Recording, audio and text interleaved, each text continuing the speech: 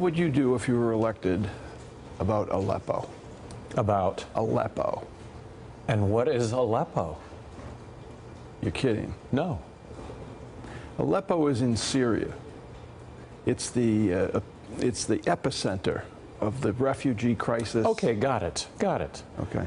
Well, with regard to Syria, um, I do think that it's a mess. I think that the only way we, we, that we deal with Syria uh, is to join hands uh, with Russia to diplomatically bring that at an end.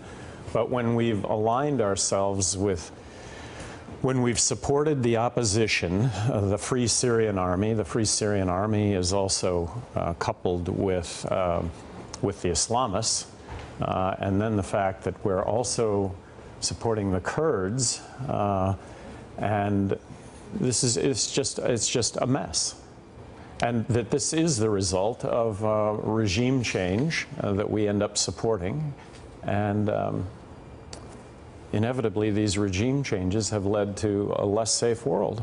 So, an alliance with Russia is the solution to Syria. Do you think Vladimir Putin and Russia are a good and, and reliable partner? Well, um, I, th I, think diplomatically that that is the that that has to be the solution is joining hands uh, with uh, Russia to bring to bring this civil war to to an end. Joe. Um, so Aleppo is the center of a lot of people's concerns across the planet about uh, the, the terrible humanitarian crisis that's unfolding not only in Syria but especially in Aleppo.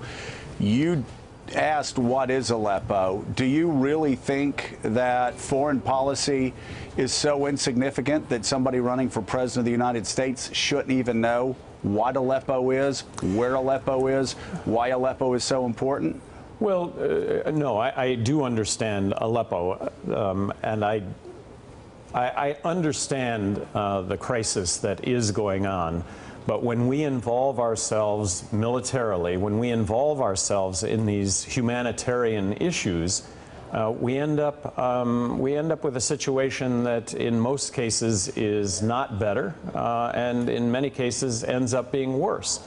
Uh, and we find ourselves always, uh, politicians are up against the wall um, and ask what to do about these things. And this is why we end up committing military force uh, in areas that, um, like I say, at the end of the day, have an unintended consequence uh, of making things worse. Hey there, I'm Chris Hayes from MSNBC. Thanks for watching MSNBC on YouTube. If you want to keep up to date with the videos we're putting out, you can click subscribe just below me or click over on this list to see lots of other great videos.